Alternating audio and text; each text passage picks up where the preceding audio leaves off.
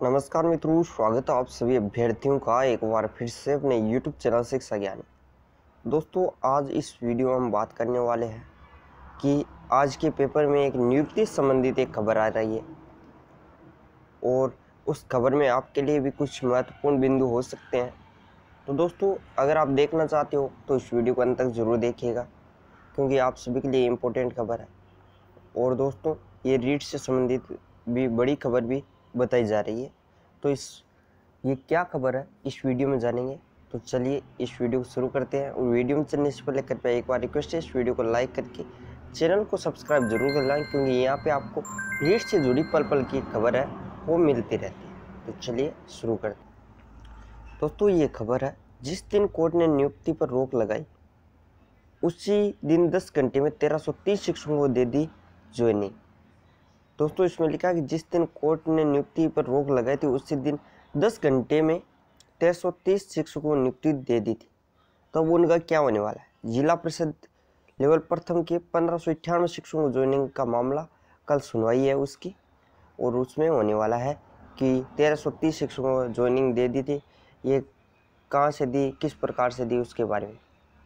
तो इसमें ऐसा हुआ कि जोधपुर से खबर निकल के आ रही है कि जिला परिषद द्वारा लेवल प्रथम के पंद्रह में से तेरह सौ तीस शिक्षकों को महज एक दिन में, है, मानो दस घंटे में ज़िले के सोलह ब्लॉक में नियुक्ति दे दी गई थी। ये नियुक्ति तेरह फरवरी को उस समय दी गई, जब इसको लेकर राजस्थान हाईकोर्ट जोधपुर की डबल बेंच ने उसी दिन इसकी नियुक्ति पर स्टे ऑर्डर जारी किया था।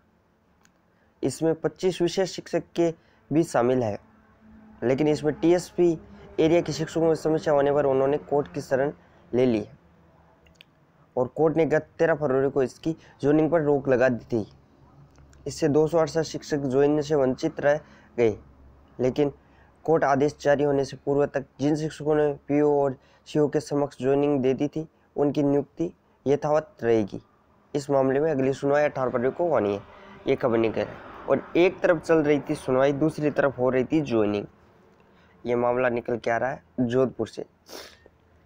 तेरह फरवरी कोर्ट में दोपहर एक बजे तक सुनवाई हो रही थी और उसी दिन है वो ज़िले के जो व्यू है, उसमें नम जो तेरह फरवरी को है, वो पंद्रह सौ इक्यानवे शिक्षकों नियुक्ति के आदेश बन गए थे।